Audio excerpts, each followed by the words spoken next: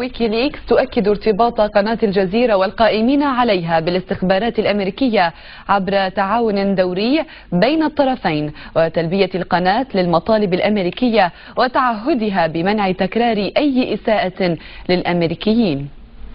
وثائق ويكيليكس التي سرعت قناة الجزيرة إلى تبنيها وأفردت مساحات واسعة عبر شاشتها لقصف دول وشخصيات من خلالها. تكشف هذه الوثائق اليوم جزءا من سر علاقة التعاون والتنسيق الدوري التي تجمع القناة ووكالة الاستخبارات العسكرية الأمريكية DIA وبحسب الوثائق فإن القناة عبر مديرها العام وضح خنفر كانت تتلقى تقارير شهرية من الوكالة عن أدائها في تغطية الأحداث المرتبطة بأمريكا ومصالحها لتقوم بالتعديل على طريقتها بما يلبي المطالب الأمريكية. الوثائق نشرت مثالين على سبيل الذكر لا الحصر عن استجابة الجزيرة عبر خنفر للمطالب الأمريكية حيث قام بحذف صور لطفلين في مستشفى وامرأة مصابة في وجهها في العراق وذلك بسبب اعتراض الولايات المتحدة على نشرها كما قام بحذف موضوع آخر يتضمن استخدام الأمريكيين الأمريكيين غازات سامة في العراق نزولا عند طلب السفيرة الأمريكية في الدوحة.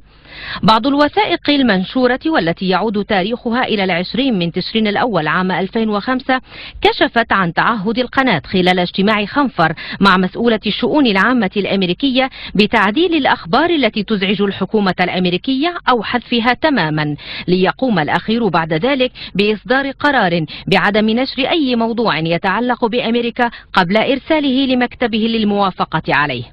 وثائق ويكيليكس كشفت جانبا من سر صعود خنفر وتدرجه في الجزيرة من مراسل في أفغانستان إلى مدير مكتب في العراق وصولا إلى إدارة القناة. وخاصة أن زملائه لم يروا فيه الرجل المناسب لذلك بسبب تجربته الفتية ما دفع عددا من الإعلاميين البارزين للاستقالة احتجاجا على سياسته التحريرية التي اتهمت أكثر من مرة بعقد صفقات سرية مع الإدارة الأمريكية والتغاضي عن جرائمها.